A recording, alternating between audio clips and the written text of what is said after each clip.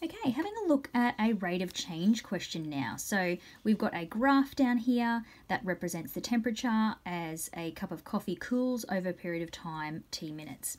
We've got some coordinates on our curve and we've been first asked to find the average rate of cooling over the first six minutes. Now, fortunately, they are the points that we have on our curve. So if we want to find the average rate of cooling over the first six minutes, we're looking at what the temperature is at six minutes, which is 42.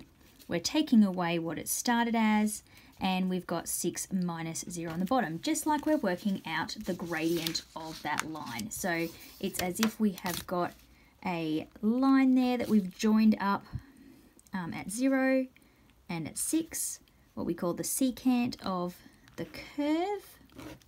Uh, so we've joined that up and we're finding the gradient of that line. So when we do that, we've got 42 take 17, oh, take 97, sorry.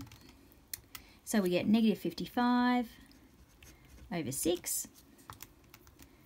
So we get negative, um, 9, and I can change that to a fraction if I want, um, but I can, or I can just round it to um, approximately negative 9.17 um, 1, 7, and that will be degrees Celsius per and we've got minutes as our time. So our answer there, we can do that, or we can change that to the fractional form.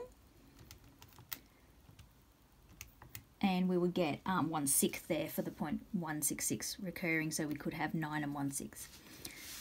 Then it says, by drawing a tangent to the curve, estimate the rate of cooling at t equals 6. So we've got our t equals 6 here.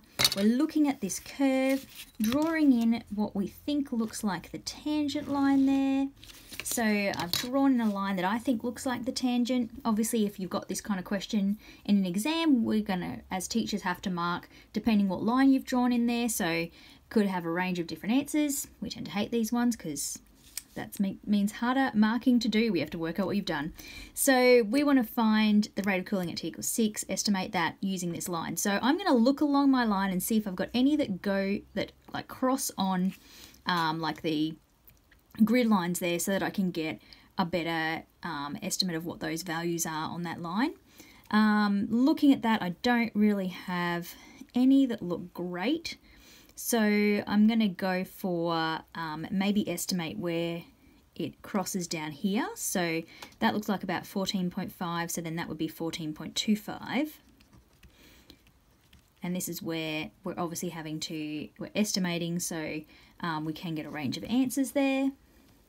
Um, then we've got our first one over here. I might try and estimate where that is. So I've got, if that's 60 and that's 80, this is 70 there, and probably that's um, 75, so probably around 72 um, that we're starting at.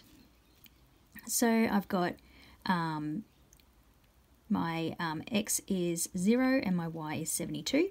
So then looking at the average, uh, like the gradient between those two points, um, I've got on the top 72 take 0, uh, 0 take 72, so I get negative 72 over 14.25 take 0 is just 14.25. So then I can pop that in my calculator, negative 72 divided by uh, 14.25, and I get about um, negative 5.05, and that'll be degrees Celsius per minute. So, sorry, that went off the page again. Um, so there's my estimate there. Obviously, everyone's going to get a different estimate depending where they draw their line in. So I'm going to leave that video there. I'm going to start a new one for the next question.